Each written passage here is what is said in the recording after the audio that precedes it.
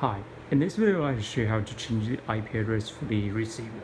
So right now we have this set up. We have the PC here and we have the uh, USB to the RJ45 adapter and we have the Cat5e cable here and then we got the IP of um, extend, extended receiver side here so we have HDMI output to the TV right now we can see actually we can see the default IP address for this receiver is actually 192.168.168.56 so basically once we have this one set set up and then we just go back to the country PC and we need to change the TCP IP4 for this country PC and then we just type the IP address of this receiver on the web browser.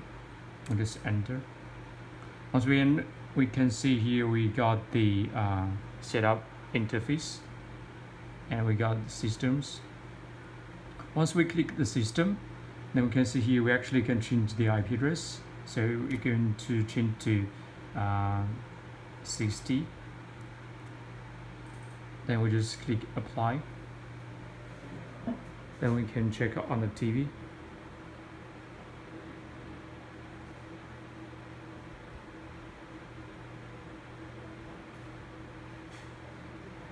So right now you can see the IP address for this receiver is already changed to the 192.168.168.60.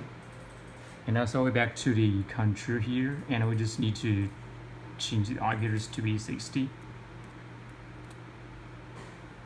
See, already back to where we can log in, and then we can do the uh, IP address setting here. Plus, and also we have the reset button here if we just press this button and hold.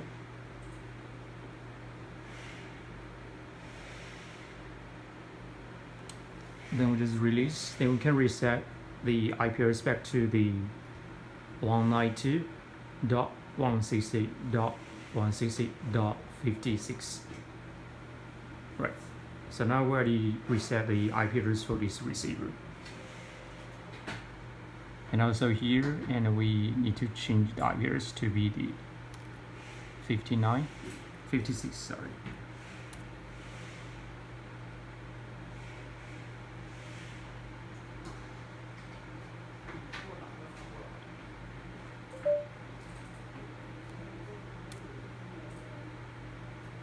So now the IP address is going to be uh, 56 okay thank you so much